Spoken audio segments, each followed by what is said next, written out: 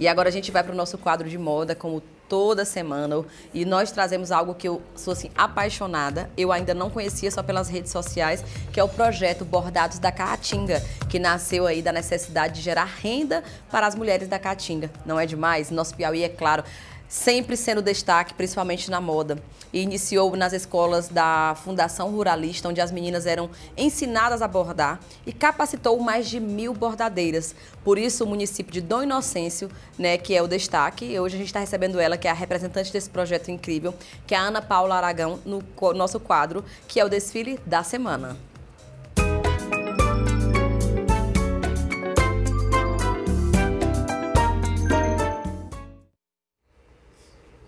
Boa tarde, querida. Seja muito bem-vinda ao Pode Entrar. E que belo trabalho. Na hora que eu cheguei no camarim, elas estavam lá se produzindo e tudo. Eu já olhei para a saia dela e digo, meu Deus, que coisa mais linda. Quanta mulher linda e quantas peças lindas e com a riqueza do bordado. É o nosso Piauí, como eu disse, sempre levando o nome para o mundo, né? É, exatamente. Vamos falar então como é que iniciou é, esse projeto, porque os bordados da Caatinga, a gente tem aí redes sociais que a gente pode acompanhar e tudo, mas a gente quer entender um pouco mais, né? Pois é, boa tarde. Primeiro, obrigada pelo convite. Nós que agradecemos. De mostrar o trabalho das bordadeiras de Dom Inocêncio, né, para que mais pessoas conheçam. O Bordados da Caatinga foi um projeto idealizado pelo Padre Lira, da Fundação Ruralista, então ele existe há muitos anos, começou nas escolas, né, que além das disciplinas curriculares, ele ensinava as meninas também a bordar.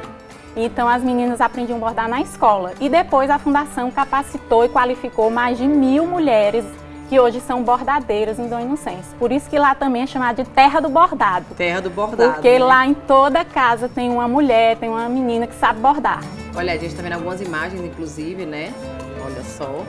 É de desfile que é, foi um dos momentos de destaque e também o projeto, ele nasceu dessa, nessa, né, desta necessidade de gerar renda para as mulheres da Caatinga e veio para um desfile também aqui ao vivo e a cores com as modelos da agência The Was Models. Quero agradecer ao Marcos e ao Marcelo.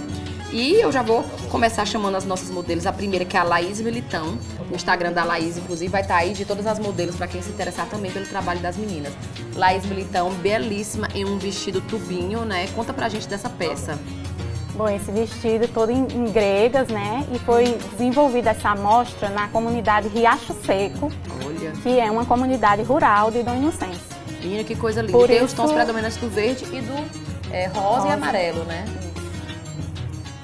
Por isso é que também é, alguns, toda a amostra lá que é criada pela fundação tem um, um nome, né? Uhum. Então, às vezes é o nome da localidade, às vezes é o nome da bordadeira que desenvolveu aquela peça. Muito bacana. E esse é do Riacho Seco. Do Riacho Seco. A próxima modelo, que é a Cláudia, Cláudia Fontinelli, vai entrar aí mostrando pra gente mais uma peça incrível.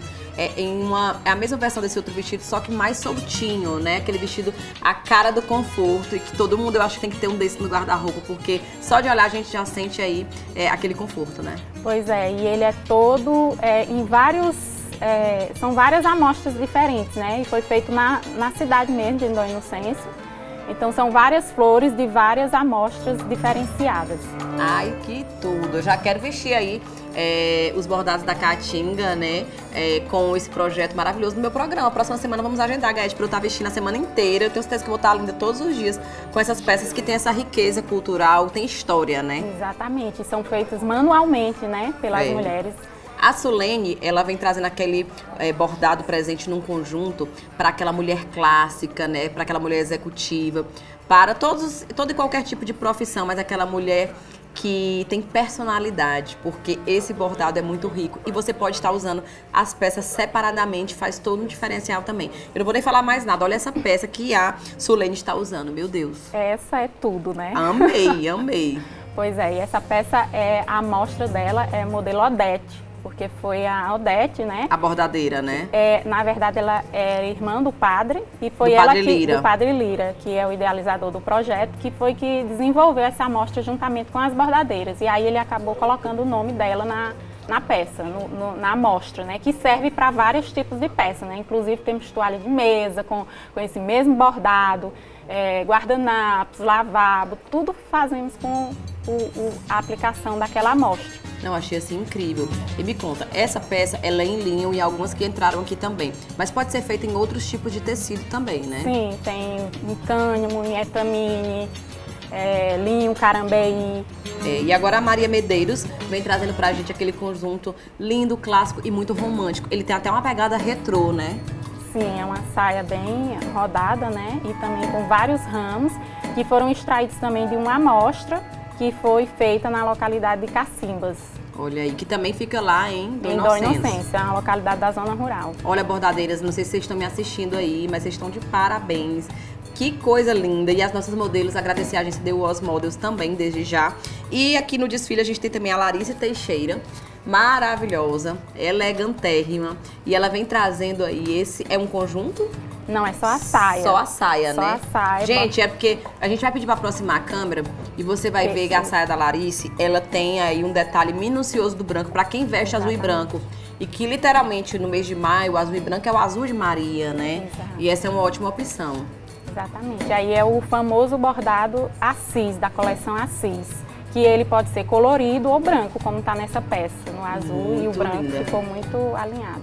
Pra quem quiser fazer uma encomenda, algo do tipo, tem que ser com antecedência, É, mandar inspiração. Ou dizer, olha, eu vi a demora. Ana Paula com aquela peça linda também, eu quero. Exatamente. Aí tem que ser com antecedência, porque demora. Demora. Uma peça dessa passa dois meses para ser bordada, porque é tudo feito manualmente. Muito lindo. E é, apesar de não ter para pronta entrega, as pessoas podem se organizar e entrar em contato por qual número e também qual é a rede social. Tem a rede social que é Bordados da Caatinga ou Fundação Ruralista, arroba Bordados da Caatinga ou Fundação Ruralista. E o telefone 8185-7667. Tem os contatos aí, né, Gaete? Se puder já colocar no vídeo, podem podem colocar. contato. Olha aí, tá aí no vídeo, tá? Pra quem quiser entrar em contato. Agora eu tô encantada, é um chemise longo. É, é um vestido longo, Meu né? Deus, que pode usar com cinto, né? E é todo em gregas também, que foi retirado de uma amostra. E aí não tá nem a amostra completa, né? Às vezes a gente retira um ramo, já forma uma roupa Uma diferente, peça, né? Uma é. outra peça. Então, dependendo do que o cliente quer, nós temos inúmeras opções, né? De modelos que podem ser criados. Ah, não, gente, esse rosa tá perfeito, já quero. Meu Deus do céu, que tá vindo ali. Que tudo, olha só. É, agora a nossa modelo vai entrar novamente, mostrando essa mesma opção, só que no tom rosa bebê e ainda com as rosas vermelhas. Que coisa linda. Eu sou suspeita pra falar dessa peça, porque ela é demais, viu? Muito linda, né? E aí já é um linho, mas um linho com viscose, né? Então já é mais Tem um caimento molinho, mais. né? É. Então já é um, um outro pano que também pode ser bordado, né? Gente, eu amei. É difícil escolher a peça mais bonita dessa coleção, tá? Bordado da Caatinga. Que coisa mais linda, mais cheia de graça. É, daqui a pouco eu vou mostrar, inclusive, a saia que a Ana Paula está, que é perfeita. E olha o conforto e a beleza desse vestido. Pode usar assim com um salto, com um tênisinho. Dependendo da ocasião, ele vai com tudo. É. E a nossa modelo vai entrar novamente trazendo aí é, uma opção de conjunto, que a calça é aquela calça envelope, né? É, Ela é muito confortável. E esse tom de nude tá super em alta, combina com, com tudo. tudo, todas as cores que você quiser colocar com outras blusas. E essa calça tem só a bainha aberta, né? Que é um tipo de ponto, né? Que elas fazem também para arrematar as peças de mesa, de toalha de mesa, para arrematar aquela peça. Então é feita a bainha aberta. E no caso aí foi feita essa calça só com a bainha aberta. Olha aí. E a blusa que já tem um bordado, que é da coleção Ivandete, que é o nome de uma bordadeira também. Olha só que show. Muito confortável. É linda demais, tá? E é um tom diferenciado. Essa coleção, pra quem quiser entrar em contato, tá aí nos vídeos. Mas também tem as redes sociais, vamos reforçar mais uma vez, né? E se tem algum. Como é que vocês lançam as coleções? É a cada quantos meses? Como é? Não, é dependendo do que o cliente vai Vai, né? é, não existe uma, É, não existe uma periodicidade em termos de produção Não. específica. Vamos lançar a coleção tal. Não, É, por enquanto ainda não tem esse bem cronometrado assim não, mas É. de acordo com o que o cliente tiver de qualquer das nossas amostras, nós podemos fazer qualquer tipo de bordado que ele quiser em qualquer peça. E pra fechar o desfile, a gente tem aqui essa opção de amarelo com o off. Ela tá com uma blusa plissada que é bem romântica e aí a gente vê a riqueza dos detalhes porque chama atenção pra saia com o bordado no mesmo tom, né, da blusa. É. E o bordado branco, né? E destacou esse laranja da saia, né? E também dá com tudo, né? Com blusas de, que você quiser botar de todo jeito. Olha, é- a saia é em linho, né? Esse é o linho carambeí. Hum, olha aí. Ele é um linho que não amassa tanto, né? É, não é como o linho normal. Né? Normal, porque o linho puro mesmo ele amassa um pouco mais, né? E agora a gente vai aqui com todas as nossas modelos entrando na passarela e eu vou te convidar já agradecendo, né?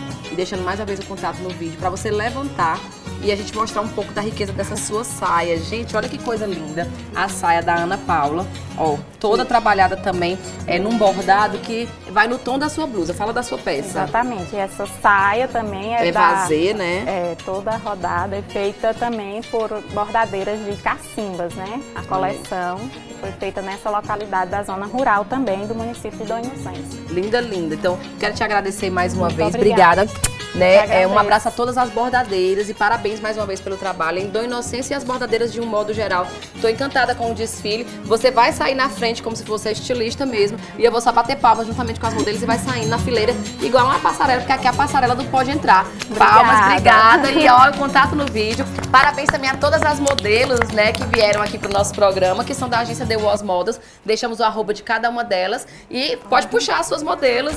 Parabéns, um arraso. Tá bom, gente? Vamos deixar o desfile disponível completo no nosso Instagram.